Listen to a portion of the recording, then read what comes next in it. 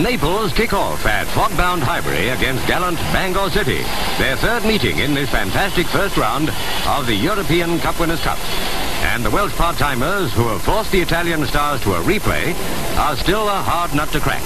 They're out to prove that their even pegging after two hard games was no mere fluke. Naples on the attack, it's a near miss.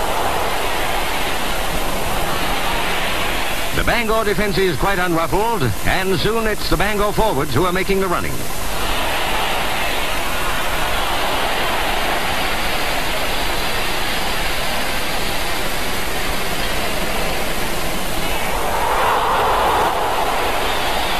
Thirty-six minutes with no score either way, and then a centered ball gives the Neapolitans their chance.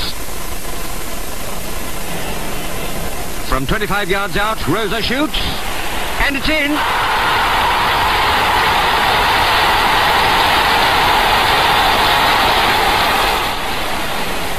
Bangor battles for the equalizer, but the Italians are still one up at half-time. Second half, and Bangor kicking off. The fog's lifted now. Out to Hunter on the wing. He shoots. But it's wide. There's another chance for Bangor from a corner. To Koeman, who fumbles it, and another near miss.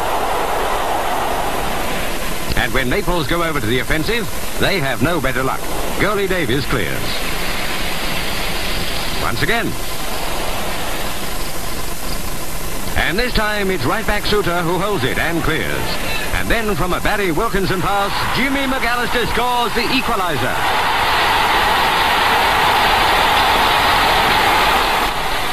Jubilant Bangor, still all square after nearly three matches, throw in everything they've got. But the worried Italians are fighting back. And in the Welsh goal, Len Davies has his work cut out. Naples take a corner and Wilkinson clears. But Davies is under fire again. Fenella is blocked by Suter, but Rosa's there. Hard luck, Bangor. But it took them three matches to beat you by one goal.